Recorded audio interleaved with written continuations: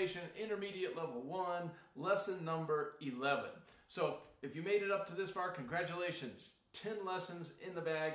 You're doing really well. Hopefully you're learning how to be patient, working slow, practicing the scales, the exercises, uh, making sure that you get all your reading exercises with your eyes on the music, counting out loud, and you're almost more than halfway, well, you will be more than halfway done with minuet in G as far as memorizing goes today. So good luck with that, and I hope you have a good time practicing.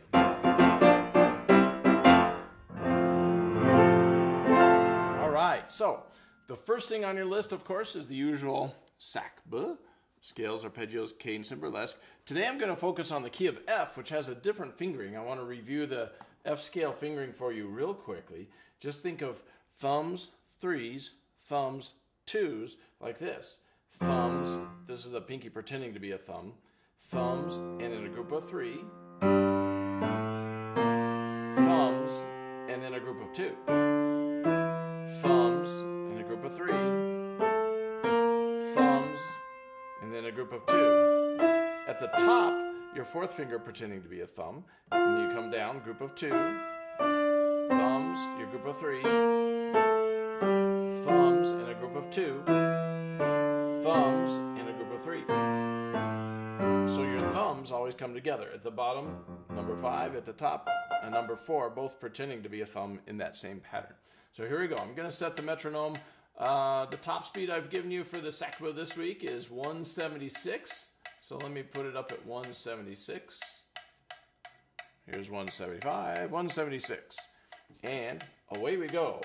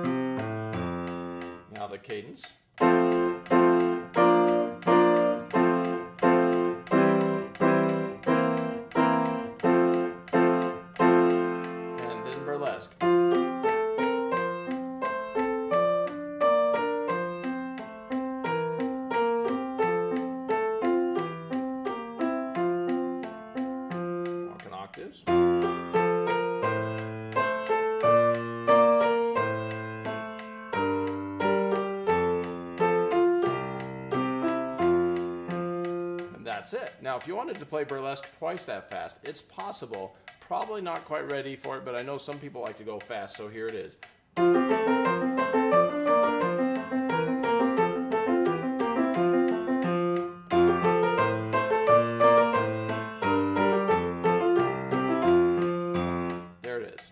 That was your scales, arpeggios, cadence, and burlesque in the key of F. Have fun with that. All right, so the next thing on your list is, of course, the major and minor triads. We're going to go chromatically, we're going to block them and then roll them, and I'm going to start it at 72. So let's put this as, oh, it already is at 72. Here we go. Try to keep my hands up nice and tall and drop my weight into the keys.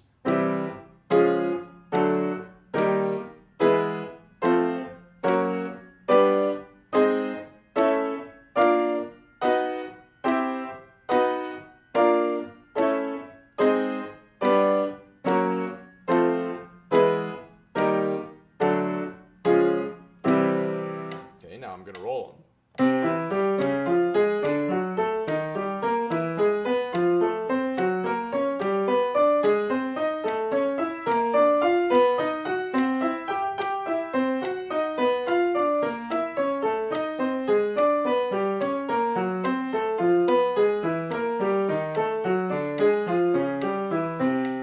All right, now we're going to do the minors, blocking first.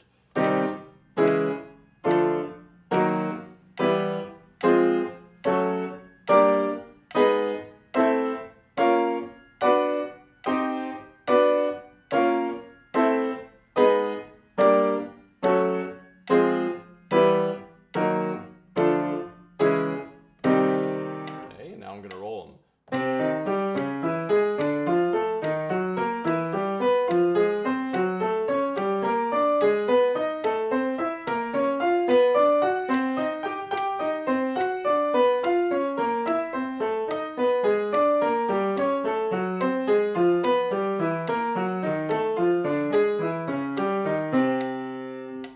And that were, or those were your major and minor triads.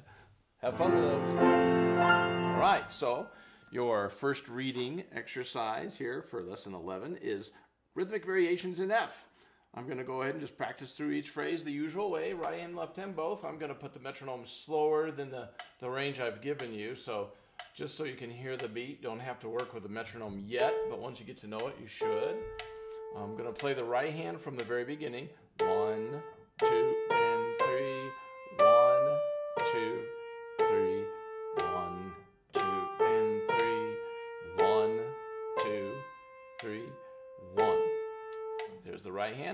Get that learned and master it. Left hand, fifth fingers on F. One, two, and three. One, two, three. One, two. Now stretch to your second finger. One, two, three, one. And once you've learned that, put them together.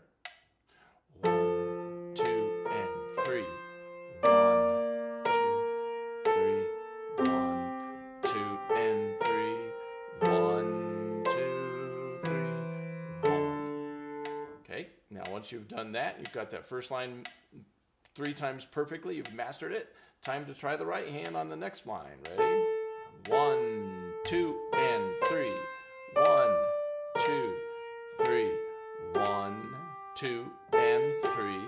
One, two, three, one. Okay, so kind of the same thing, but with a little bit of rhythmic variation to it. Imagine that. So once you get your right hand, left hand, four fingers on D. One, two, and three. One, two, three. One, two, three.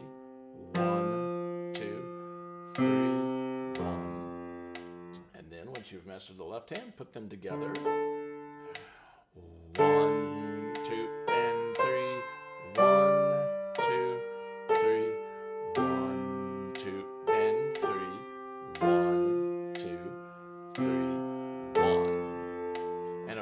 Once you get those first two lines learned, then put them together. We're going to go on to the third line now. Right hand. Now, kind of the same thing, but a different variation. We're going to put some triplets in there. I'll say the word triplet each time we have a triplet. One, triplet, three, one, two, three, one, triplet, three, one, two, three, one. Once you get that right hand learned, the left hand's pretty simple. One,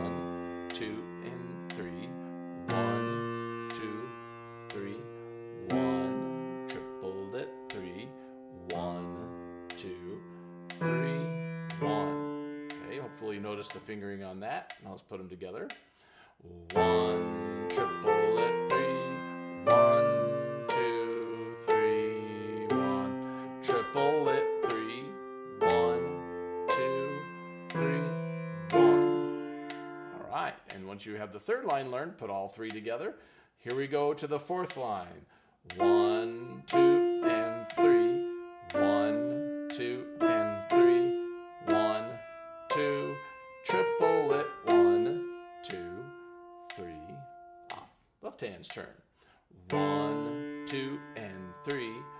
One, two, and three.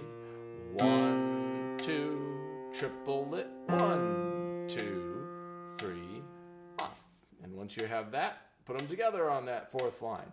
One,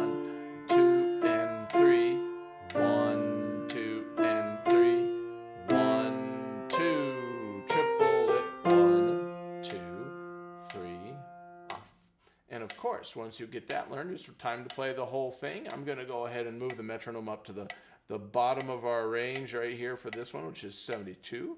Then I'll do it again at 120. But here we go, the whole piece at 72. One, two, and three. Oh, my, I goofed up the fingering. Did you see that? I started with third. No good. Number two. One,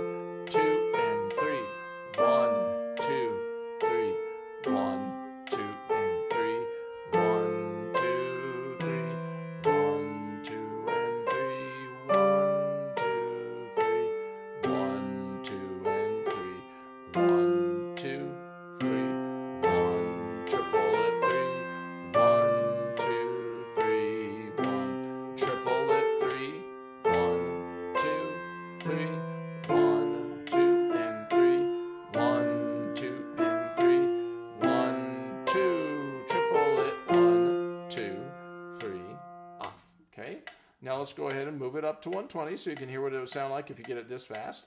And of course, anywhere in between those two is fine. If you want to stay with it for a while and get it up to this tempo, it's kind of fun. One, two,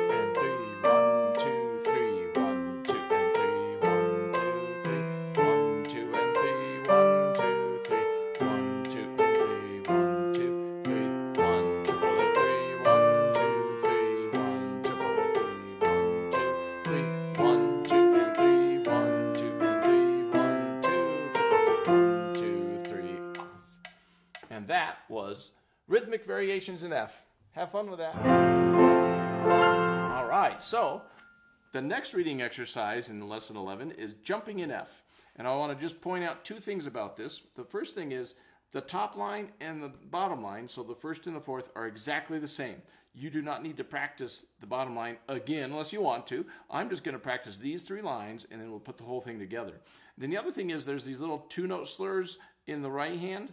Uh, and it shows up a little bit in the left hand on this line, but I just want to point out that you're going to go smooth, staccato, smooth, staccato in the right hand, while the left hand is going to be staccatoing. So that's a little bit of the uh, tricky part on this one. The left hand has mostly staccatos, occasionally a long chord, so be aware of those things. The articulation lesson here is worth learning, so pay close attention to those details. I'm going to start at uh, 52 for the quarter note which is actually a little bit fast. So leave your metronome off until you get to know it, and then you can start 52 or slower. Here we go. Right hand by itself on the first line.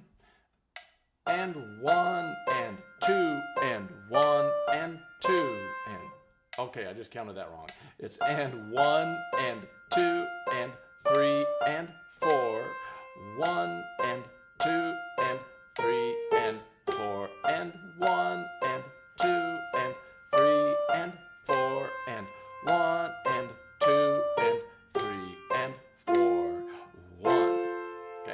once you've got that right hand learned left hand goes like this. It's the one chord in the key of F and then the four chord. You'll notice you'll recognize all these chords from your cadence. And one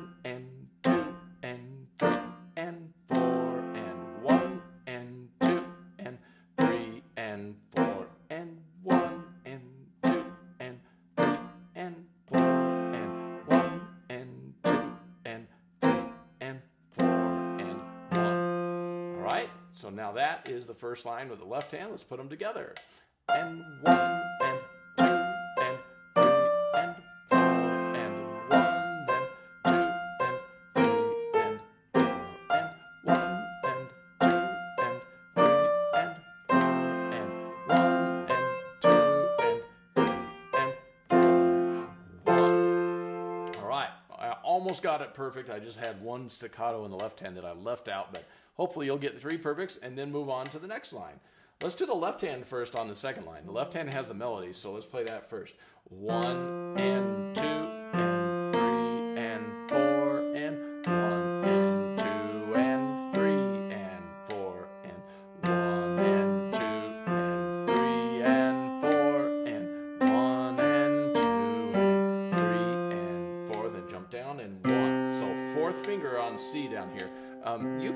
for that jump. It's kind of a tricky jump. So if you need to look at your hand, that's fine. Just for that one spot. Or you could train your hand how to find it without looking. That'd be even better. Okay, now you get your left hand learned. Right hand goes like this. One and two and three and four. Sorry about the slop. And two and three and four. One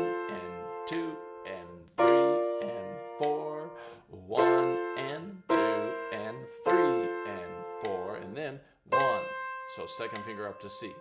Now both hands. One and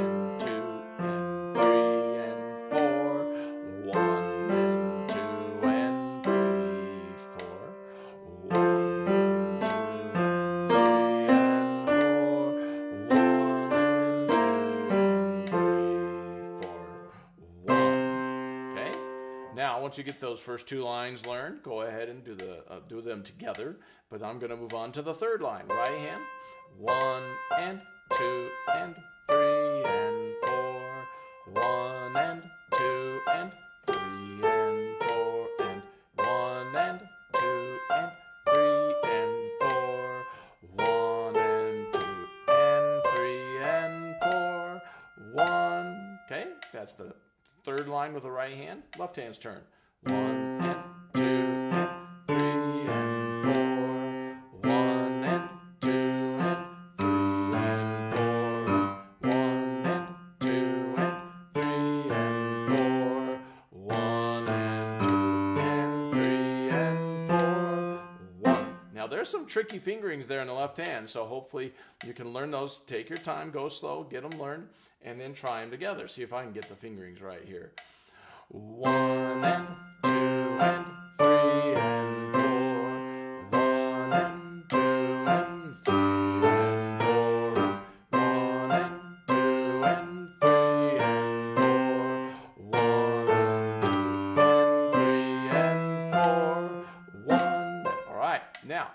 once you get that third line learned, then you're ready to play all four lines. I'm going to go ahead and move this up to the range that I give you on your um, lessons sheet, and it was, I think, 63 for the first one. So a little bit faster than we were just going. Here's the whole piece at 63.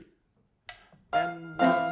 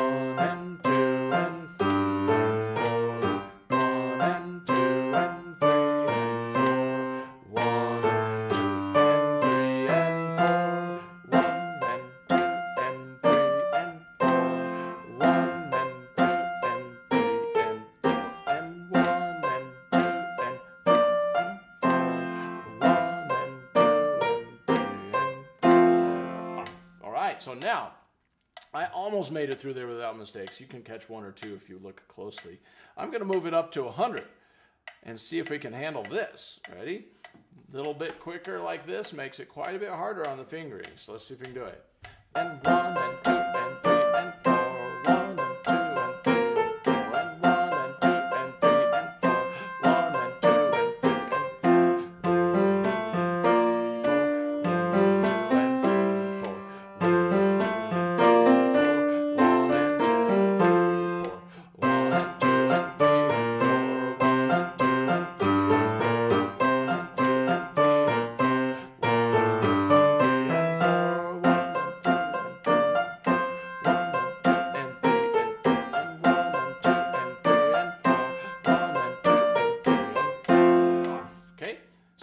was jumping in F. Have fun with that. All right, so for lesson 11, we're going to learn uh, two more lines of the minuet. Uh, we're going to go ahead and do measure 17 through 20 on the bottom of the first page, and at the top of the second page, we're going to get measures 21 through 24. So let's memorize those. I'll take them nice and slow. I'm going to play the right hand by itself, starting at measure 17, and then you are instructed on your um, on your lesson sheet to practice the old material with the metronome. So maybe I'll demonstrate a little bit of that, but let's focus mostly on these new measures. So right hand, third finger, one and two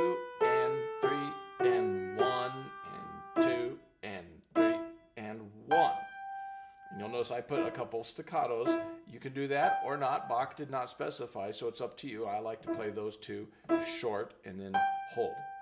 Okay, so that's the right hand. Left hand, one and two and three and one and two and three and one. So I play the left hand smooth that whole way. Go ahead and get the left hand memorized and then put them together. One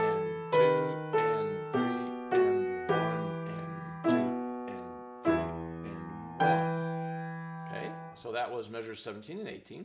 Now, starting with measure 19, right hand fourth finger. One, two, and three, and one, two, three, one. And once you get that memorized, left hand, one and two and three. Oh no, look at that. The left hand chord. That will help you memorize if you notice it. See that?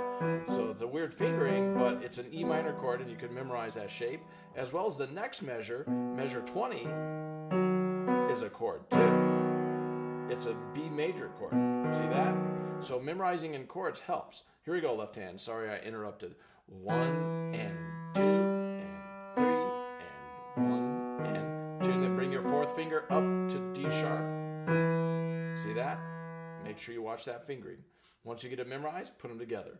One and two and three and one and two and three and one. Let me see if I save my metronome. There you go. Now, once you get that learned, of course, you're going to put that whole line together with a stop in the middle, like this. One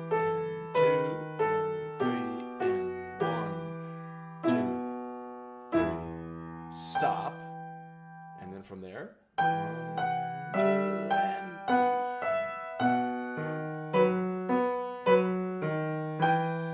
okay, and now let's do it without the stop. And you would do this till you get at least three perfect, more if you'd like.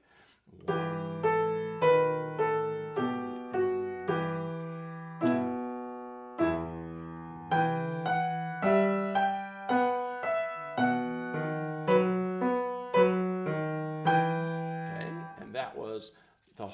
measure 17 through 20 um, with both hands. You would get three perfect, and then move on to measure 21, right hand by itself. One and two and three and one, two, three, trip. And I said trip because that's the beginning of a triplet right there. Now the left hand is again rolling an E minor chord. Hopefully you'll recognize that. One and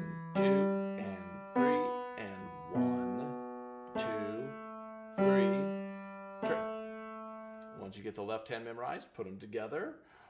One and two and three and one, two, three, trip. Okay, and then once you have those two memorized, move on to the next two. It starts with a triplet in the right hand. I'm going to say triplet two, three, one, two, once you get that right hand mastered and memorized, left hand, triplet two, three, one, two, and three, and one. And then you put them together like this. Triplet two and three, one, two, and three, and one. And then, of course, we're going to put the whole line together with a stop right in the middle, and that'll go like this. One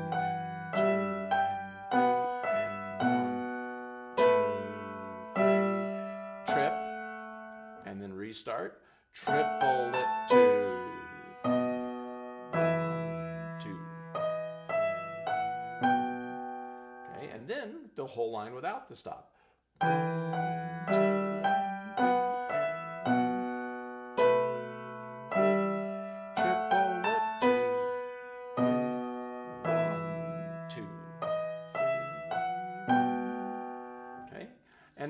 Let's go ahead and put the two lines together that we've done today the bottom of the first page and the top of the second page. And let's go ahead and put it on the metronome. Now, for your old material, I suggested 66. I'm going to go a little bit slower than that for this brand new material. Maybe let's try 52 and see what it sounds like. That's about, I think, how fast I might have been just playing. Here we go. One,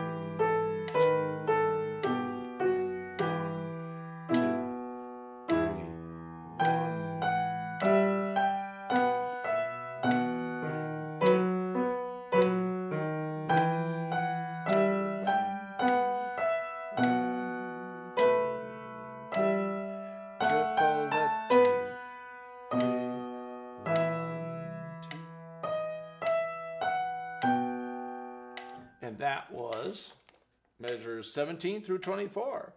And it was at 52. Now, um, just real quick, I want to show you the opening at the 66. If you wanted to just start out the 66 uh, on your homework sheet or your lessons sheet that I gave you, the guide says 66 to 80. So I'm going to just show you what uh, 66 sounds like at the beginning. And you should still be practicing hands separately, but here's what it sounds like hands together.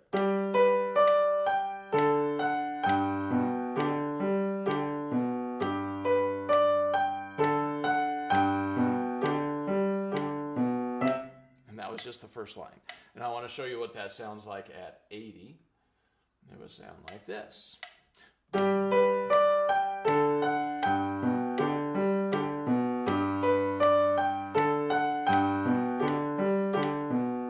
right? So um, you go ahead and, and, learn the new lines and start working on the old material with the metronome, somewhere between 66 and 80. And then the next lesson, lesson 12, we will finish learning it and play the whole thing into the range. Have fun with that.